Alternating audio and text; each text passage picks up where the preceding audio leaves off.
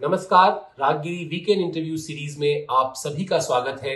हमारी मेहमान है इस हफ़्ते की कथक की दुनिया का बहुत बड़ा नाम रही गीतांजलि लाल जी।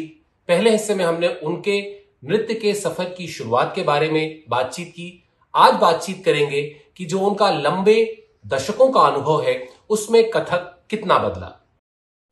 अच्छा दीदी, अब आते हैं दूसरे हिस्से में और कथक पर थोड़ी सी बातचीत करते हैं। सबसे पहले तो यही समझना चाहेंगे कि कई दशक आपने कथक के साथ कथक को जिया कथक के साथ उठना बैठना सब कुछ रहा। कौन से वो बड़े बदलाव आपको दिखाई देते हैं इस आर्ट फॉर्म में? बदलाव तो ज़रूरी भी है। यू नो तो स्टैटिक हो जाता है हर चीज़ में बदलाव। But the basics are the same जैसे सात सुर हैं और कोमल तीव्र मिला के बारह सुर हैं तो वो तो नहीं बदलेंगे।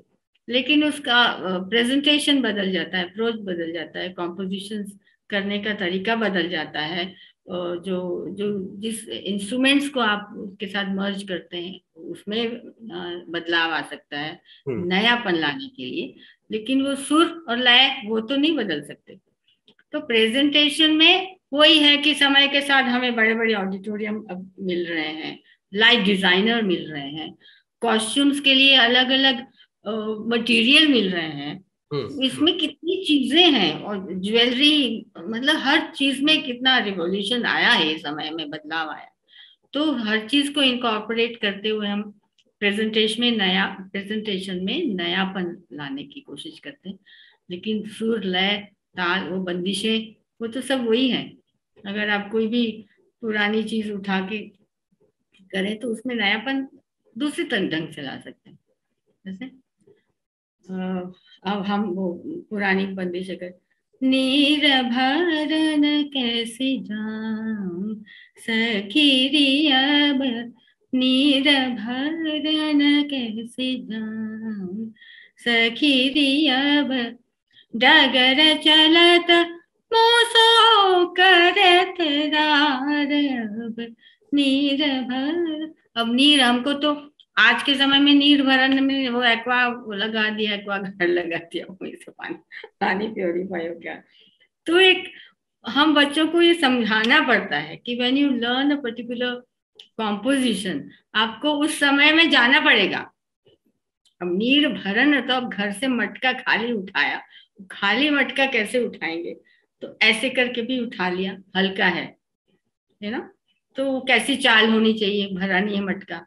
तो उसको बड़ा ऐसे ऐसे करके नहीं उठाना, और धीरे से उठाया, ये कमर में दबा दिया चल पड़े। अब कहाँ जाना है वो भी आपको सोचना है कि आपको कोई कार वार रास्ते में नहीं आएगी। आप आराम से जा सकते हो गाँव में। वो कुएँ तक जाना है या नदी तक जाना है। तो उसका टहलती हुई गई तो बीच में सहेली मिल गई। मतलब वो सब भाव में आपको वो डूबना पड़ेगा। उस समय को सोच के आपको कोई कॉम्पोजिशन करनी होगी। तब इतना सब लेक्चर सब देती हूँ तब जाके तालीम होती है। तो मैं पता नहीं वो भूल गई कि मैं कहाँ से शुरू हुई ये बात करना। हम लोग कथक में बदलाव पर बात कर रहे थे और आपका हाँ बदलाव। हाँ, तो बदलाव जब ये करेंगे तो आपको तो इसी तरह करना पड़ेगा। बदलाव यही हो सकता है कि लाइट जो एक्सपर्ट लाइट डिज़ाइनर है कुछ उसमें कुछ चमत्कार ला देंगे या कोई बैकड्रॉप अच्छा लगा देंगे या कॉस्ट्यूम में कुछ बदलाव ला देंगे या आप इसी को हम जैसे Kathak is essentially solo dance form है ना? तो एक ही एक ही कलाकार स्टेज पे ऐसा होता था कि portraying different character the same dancer without changing the attire costume ये वो राजा भी बन गए रानी भी बन गए तलवार भी उठा लिया गोपी भी बन गए कृष्ण भी बन गए। हर तरह का कोई भी कहानी हो उसको कथा कहे सो कथक। कहा तो वो तो बेसिक रहा है। लेकिन जैसे कि मैंने कहा कि बदलाव के साथ अब कोरियोग्राफी होने लगी। तो नीर भरन कैसे उसमें चार सहेलियाँ और ले आए। तो एक वो विजुअली थोड़ा असर हो गया उसमें कोरियोग्राफ पैटर्न्स आ गई। मैं एग्ज़ाम्पल ही बता रही हूँ मैं ऐसे तो कितनी कितने लय की बातें हैं उसमें।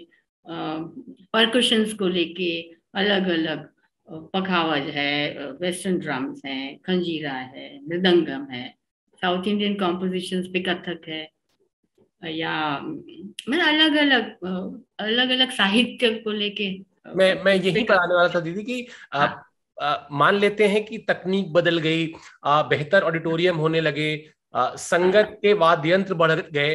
लेकिन विषय वस्तु भी तो कुछ बदली होगी ना। जब आप करती थी तब से लेकर आज जब नई जनरेशन के बच्चे जो कथक में परफॉर्म कर रहे हैं और अच्छा कर रहे हैं विषय वस्तु हाँ। कितनी बदली है?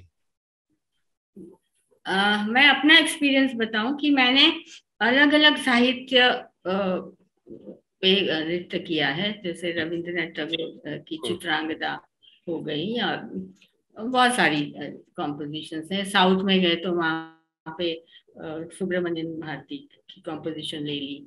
या कोई विदेश गए जैसे मैं अफगान ऐसी डिफ़िकल्ट जगहों पे भी गई हूँ अफ़गानिस्तान हम्म, हम्म। इराक वगैरह। तो वहाँ की कोई पर्शियन गज़ल ले ली उस पे किया। गुवाहाटी चले गए तो वहाँ वहाँ पे लोकल कोई कंपोजर है उनकी चीज़ लेके। तो ऑन द स्पॉट वहाँ से वहाँ गए प्रोग्राम करने अरे भाई बताओ कोई यहाँ पे खास पॉपुलर क्या चीज़ है? तो to you know create a rapport with your audience immediate rapport बन जाता है। हम्म, तो ऑडियंस हम्म, हम्म। देखिए आप ये मत करिए कि हम तो अपना ही गाएँगे बजाएँगे। नहीं नहीं कोई कलाकार स्टेज पे जाएगा तो ऑडियंस को तो सोचेगा ही कि उनको तो खुश करना है भाई। कोई कहे कि वो आई डोंट अग्री दोस्त की वो कहने जी हम तो अपनी कला नहीं। आप ऑडियंस के सामने जाके प्रोग्राम करते हैं तो आपका धर्म है कि आप अपनी ऑडियंस को खुश करें। तो किस तरह से खुश करेंगे? कहाँ पे क्या पसंद है? वो तो आप मैं तो एकदम न पकड़ लेती हूँ पाँच मिनट में कि ऑडियंस को क्या चाहिए। अच्छा दीदी, आज आज क्या मतलब कई वर्षों बरस से आप सिखा रही हैं। जब कोई आता है आपके पास और कहता है कि मुझे कथक सीखना है आप क्या देखती हम्म। हैं उसके अंदर? ऐसी कौन सी चीज़ें देखती हैं दो तीन जिसके बाद आप तय करती हैं कि हाँ आप उसको सिखाएँगी आप उसमें अपना समय इन्वेस्ट करेंगी? आ, सबसे पहले तो जो सेंस ऑफ़ रिदम है वो बहुत ज़रूरी है। अगर आप गाना सीखने जा, जाते हो तो पहले देखते हो कि आपके गले में सुर है कि नहीं। जैसे आप गुरु ने सिखाया सा तो वो कह रहे सा कितनी भी कोशिश कर वो हो ही नहीं पाएगा। तो इसी तरह नृत्य में लय की समझ और खास करके कथक में क्योंकि कथक की ट्रेनिंग ऐसी है कि आ, उसमें आइटम नहीं सिखाए जाते। आप सारी चीज़ें लय की तालीम पैर कैसे रखना उसके इंट्रिकेट रिदमिक पैटर्न्स फिर हैंड मूवमेंट्स फिर आपको उसके साथ कॉम्बिनेशन बना के करना होता है। तो लय लय सबसे बड़ी, लय और सुर ईश्वर की देन है।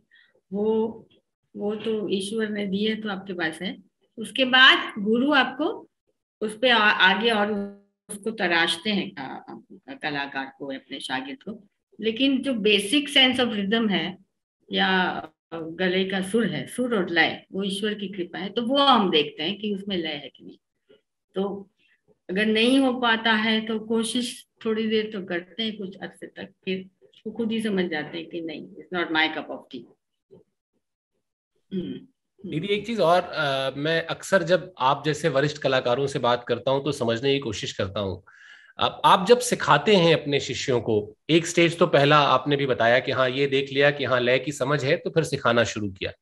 आपने सिखाया पाँच साल, दस साल सिखा के जब उसको आप भेजते हैं कि हाँ भाई, अब तुम तैयार हो अपने सोलो परफॉर्मेंस के लिए। कौन सी वो दो तीन बातें बताते हैं कि ये अपने जीवन में कभी मत करना। क्या करना? ये तो आपने दस साल बताया उसको कि ये ताल का सेंस होना चाहिए, ये होना चाहिए, ये होना चाहिए, ये होना चाहिए। लेकिन जिस दिन आप उसको कहते हैं कि हाँ बेटा जा, अब आप तैयार हो डांस करने के लिए, बस ये बात ध्यान रखना कि ये मत करना। वो कौन सी दो तीन चीज़ें हैं?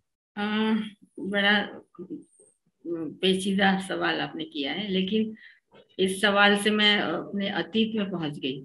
जी। या आप जी बिल्कुल जैसा आपको कहा गया हो कुछ ऐसा। हाँ मेरे ग्रैंडफादर ने मुझे कहा था विच इज़ नॉट रेलेवेंट आज के युग में पर लेकिन वो मेरे स्वभाव में रही है ये बात। मेरे ग्रैंडफादर ने कहा था चलो तुम डांस तो कर रही हो लेकिन कभी भी पैसे को लेकर डांस नहीं करना। पैसे को सोचकर डांस नहीं करना। तो ये मैं हमेशा बोलती हूँ कि आपको देखना है कि आपको कौन सा प्लेटफॉर्म है आपको कौन इनवाइट कर रहे हैं आपको कहाँ परफॉर्म हम्म। करना है। तो वो बहुत ज़रूरी है कि ये नहीं कि आपको ज़्यादा पैसा मिले तो आग बंद करके चल पड़े कहाँ जा रहे हो क्या? यू नो तो ये ये भी बहुत ज़रूरी चीज़ है, ये मुझे याद आती है। तो मैंने ये बात हमेशा याद रखी। अपने मेरे ग्रैंडफादर को, मेरे गुरु रहे और दूसरी बात है, ये बोलती हूँ कि डरना नहीं चाहिए स्टेज पर। स्टेज फ्राइट अगर है तो you can not do anything you can not succeed तो ये दो तीन बातें तो मैं बोलती हूँ। मिलनसार होना चाहिए। क्या नहीं होना चाहिए, आपने ये पूछा। हाँ ये बड़ा कठिन सवाल है क्या नहीं। क्या नहीं होना चाहिए वही तो डरना नहीं चाहिए और ये वाले जो मैंने बात कही। अच्छा दीदी जयपुर घराने की तो बहुत सारी विशेषताएँ हैं। कुछ कोई बोल या कुछ आप पढ़ के ही हमें सुना दें तो थोड़ा सा समझ में आए और बताएँ भी कि क्या खास है उस चीज़ में जो आप हमें सुना रही हैं। अच्छा हाँ कोई बंदिश बताते हूँ। जी। आ, तीन पल्ले हैं त्रिपल्ली तीन लय की दर्जे हैं अलग अलग जैसे थोड़ा लंबा हो जाएगा पर बिल्कुल दिक्कत ही नहीं है। सौभाग्य है हमारा। हाँ नहीं जैसे ना तीन तीन तीन ता ता दे धीन धीन धा धागे ते ते ता तागे ते ते किर्धे धे कीट धागे न धा धात्र क धिकित धात्र क धिकित धित दा धित धा दा दा गिन तक धा गिन तक धा धात्र क धिकित कत ग गिन दान दान दा तित ता तागे तित कृ दिकित धागे न ता दात्रक दिकित दात्रक दिकित धित दा धित धा धा धा घिन तक दा गिन तक दा दात्रक दिकित कत गदि गिन दान दान दा दा धागे तित ता धागे तित कृ तकित धागे न दा दात्रक दिकित दात्रक दिकित धित दा धित दा दा दा गिन तक दा गिन तक दा दात्रक दिकित कत गदि गिन दान दान दा ते टिपल्ली होगी तीन लय लय के दर्जे। तो इस तरह की बहुत पुरानी पुरानी पुरानी बहुत अच्छी बंदिश है जिसपे अच्छा नृत्य हो सकता है। अच्छा ये आ, मतलब हालाँकि ये भी एक कठिन प्रश्न है और आ, कठिन इन द सेंस कि जटिल है थोड़ा सा। मान लीजिए मैं हम्म। एक दर्शक के तौर पर मैं जाऊँ और आ, मुझे ये मेरे अंदर ये चाहत हो कि मैं पहचान सकूँ कि मैं जयपुर घराने की आ, कलाकार का नृत्य देख रहा हूँ। तो मैं कैसे कुछ दो तीन चीज़ें ऐसी कुछ हों जो देख के लग जाए कि अच्छा नहीं ये बनारस नहीं है या ये आ, कोई और घराना नहीं है ये जयपुर की ही खासियत है ये जयपुर में ही होता है ऐसी कुछ चीज़ें? खास तो जो आपका स्टांस है एक डांसर का स्टांस वो पहले मुझे तो लगता पहले तो वही बता देता है। और शुरू की जो उठाने हैं वो एक ट्रेडिशनल जो उठाने हैं उससे पता लग जाता है और अंग संचालन उसमें फ़र्क है और रेपर्टवार में तो फ़र्क है पर उसके लिए तो अगर एक, एक कोई नॉविस है नया नया ऑडियंस है उनको तो नहीं समझ आएगा कि टेक्निकल हम्म। क्या हम्म। लेकिन मोटा मोटा ये है कि तैयारी ज़्यादा है फुटवर्क ज़्यादा है चक्कर बहुत गतिमान है तो ये सब चीज़ें एकदम एक आम जनता को आम आदमी श्रोता को या क्या बोलेंगे? दर्शक को। हाँ दर्शक एक आम दर्शक को पता लग जाएगा कि तैयारी है चक्कर है हम्म, नृत्य में तसल्ली नहीं है कब मतलब बहुत तेज़ी में नाचना है। और जैसे लखनऊ घराने में ग्रेस है और उनके रिपर्टवार में ठुमरी है भाव है अभिनय। तो अभिनय तो सब में है सभी लोग करते हैं depends it's person to person मैं इसमें थोड़ा सा मेरा अलग की, अलग सोच है कि ज़रूरी नहीं कि आप जयपुर घर आने के तो भाव नहीं कर सकते ये आपकी पर्सनल चॉइस है और अपना पर्सनल टैलेंट है कि आपने उस पर कितना काम किया है। लेकिन जो रेपटवार है जिसमें मोस्टली अचानक पता लग जाता है कि तैयारी है, चक्कर है तत्कार है और अंग संचालन है, उससे पता लग जाता है कि जयपुर घर कराने गीतांजलि जी के साथ इस बातचीत में यहाँ पर एक बार फिर छोटा सा विराम ले लेते हैं। कल रात ठीक नौ बजे फिर जुड़िएगा और देखिएगा इस इंटरव्यू का तीसरा और आखिरी हिस्सा।